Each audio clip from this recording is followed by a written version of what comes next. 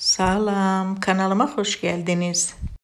Bu gün gözəl olduğu qədər çox ləzzətli, çox faydalı bir əzgil soku hazırlayacağam.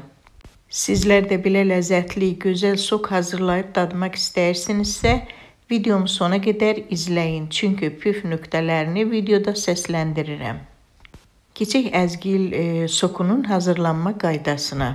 Gördüyünüz kimi belə gözəl, sağlam əzgillər seçib götürürəm. Kal əzgilləri alıb 3 gün evdə e, klokda bağlı vəziyyətdə saxlayıram.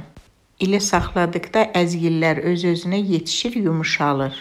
Daha sonra əzgili axar suyun altında təmiz suyu çıxana qədər yuyuram.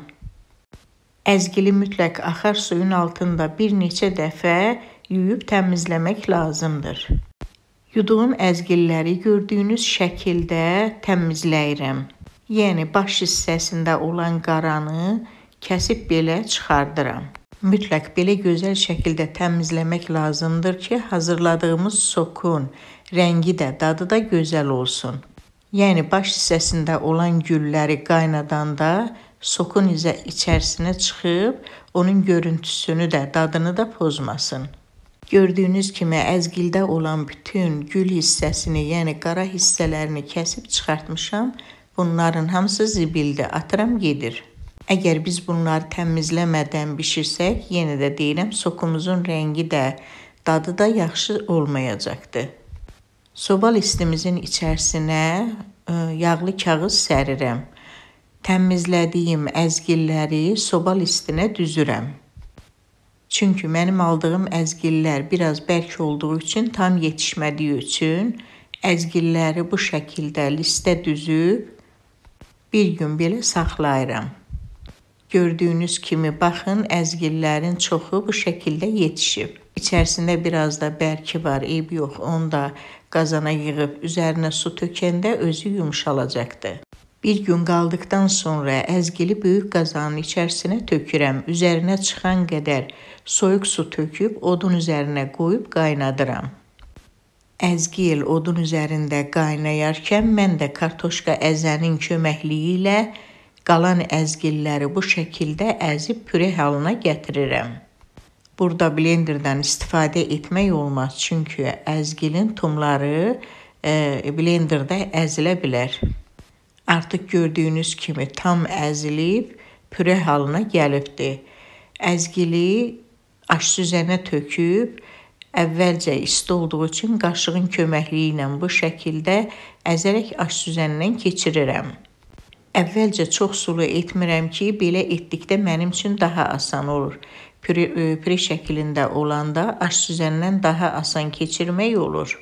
Ancaq biraz da sulu etsəm, on, onda suyu axıb gedər və yenə də mənim üçün əziyyətdir çəkmək.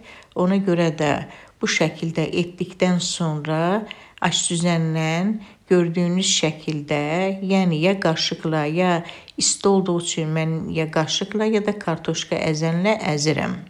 Artıq soyuduğu üçün əzgili əlimlə əzib qalanını da aş süzəndən keçirirəm. Aş süzəndən keçirdiyim əzgildən belə gözəl püre çıxdığını görürsünüz. Bayaq əzgili çəkərkən qalan o cəcəyin üzərinə yenidən soyuq su əlavə edirəm. Üzərinə çıxan qədər soyuq su əlavə edib əlimlə tam əzilənə qədər, yəni həll olana qədər qarışdırıram. Daha sonra qarışdırdığım bu əzgili yenidən aş süzəndən keçirirəm. Yəni tam məti çıxana qədər əlimlə bu şəkildə əzərək əzgilin tam mətini çıxardıram. Qalan cəcəyini də atıram. Artıq əzgilin suyunu tam çıxartmışam, hazırdır. Çəkdiyim əzgilin suyunu böyük qazanın içərisinə boşaldıram. Odun üzərinə qoyub qaynadıram. Əzgilin suyu biraz e, qatı olduğu üçün üzərinə 2 stəkan su əlavə edib qarışdırıram ki, biraz duru olsun. Üzərinə 1 stəkan yarım da şəkər tozu əlavə edib qarışdırıram.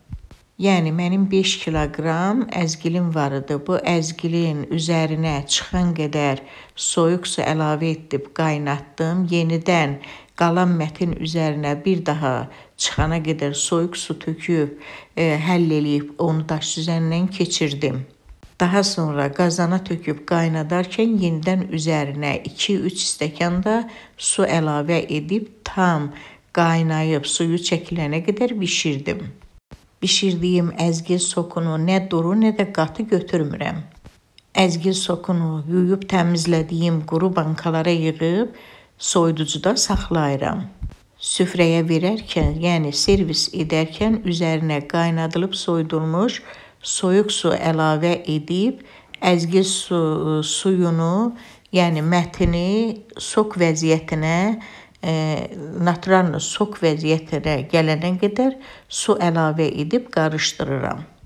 Artıq həm faydalı, həm xeyirli, həm ləzzətli əzgil sokumuz hazırdır. Soku servis edərkən əgər şirəsi az olsa, qatdığınız, yəni əlavə etdiyiniz suyun içərisinə şəkər tozu da əlavə edə bilərsiniz.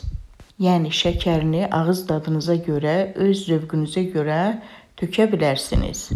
Əgər videomu bəyəndinizsə, kanalıma abunə olub, videolarımı izləyib, bəyənib, yorum yazmağı unutmayın. Hazırlayıb dadan hər kəsə nuş olsun.